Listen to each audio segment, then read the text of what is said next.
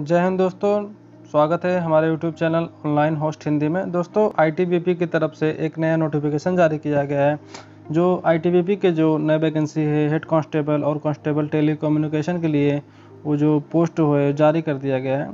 तो चलिए हम नोटिफिकेशन में देखते हैं क्या क्या सारी चीज़ें हैं और स्टेप बाय स्टेप आपको एक एक जानकारी बताते हैं।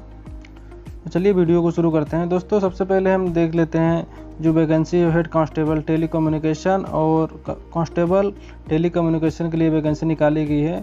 जो ग्रुप सी के अंदर आता है, जो ग्रुप सी के अंडर में आता है टेली कम्युनिकेशन तो दोस्तों, देख लेते हैं जो वैकेंसी है, वो कितनी वैकेंसी टोटल वैकेंसीज है। टोटल वैकेंसी की बात करें अगर हम तो वो हेड कांस्टेबल के लिए 126 वैकेंसीज हैं और कांस्टेबल टेलीकम्युनिकेशन के लिए एक सौ सड़सठ यानी 167 वैकेंसीज टोटल निकाली गई है। अगर हम मेल फीमेल वाइज अगर देख लेते हैं वैकेंसी को तो मेल के लिए जो हेड कांस्टेबल वैकेंसी है टोटल 107 यानी 107 वैकेंसी है और फीमेल के लिए 19 19 वैकेंसी है, जो टोटल मिला के 126 वैकेंसी हो जाती हैं। और बात अगर कांस्टेबल की कर लेते हैं तो कांस्टेबल में टोटल एक सौ सड़सठ वैकेंसी है और मेल की 142 और फीमेल की 25 टोटल मिला के एक सौ सड़सठ वैकेंसी होती हैं। और आप अपने कैटेगरीज वाइज यहाँ पे वैकेंसी देख सकते हैं। S C S T O B C और जनरल के लिए सारी वैकेंसी दी गई हैं। और यहाँ पे इन्होंने एक चीज़ और मेंशन कर रखा है नोट में, टेन परसेंट, यहाँ पे देख सकते हैं ten percent vacancies of both post. मतलब हेड कांस्टेबल और कांस्टेबल के लिए जो 10 परसेंट वैकेंसीज है, वो इक्स सर्विस मैन के लिए रिज़र्व कर रखी गई हैं।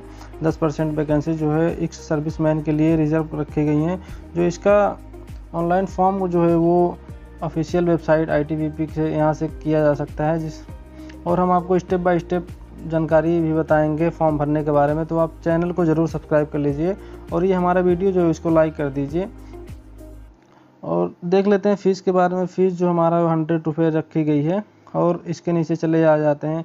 ये सारी चीज़ें आप चाहें तो यहाँ पे पढ़ सकते हैं। पे स्केल की बात करें तो पे स्केल आप यहाँ पे देख सकते हैं। पे स्केल हमारा जो है, ये रहा हेड कांस्टेबल और कांस्टेबल का इजिलबिलिटी यानी आप देख लेते हैं इजिलबिलिटी क्या क्या रखी गई हेड कांस्टेबल टेलीकम्युनिकेशन के लिए।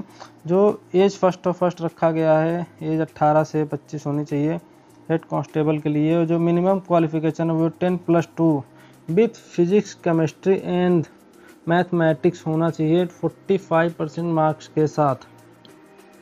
चले आते हैं नीचे, और जो कट ऑफ़, जो डेट ऑफ़ बर्थ रखी, जो कट ऑफ़ डेट जो है, वो कहाँ से एज जो है आपकी जोड़ी जाएगी। एज जो है आपका काउंट किया जाएगा इकतीस सॉरी तीस ग्यारह दो हज़ार बाईस से आपका जो है एज वो काउंट किया जाएगा हेड कांस्टेबल के लिए। चलिए नीचे आ जाते हैं और देख लेते हैं। दोस्तों कांस्टेबल के लिए जो एज रखी गई है, वो 18 साल से 23 साल रखी गई है।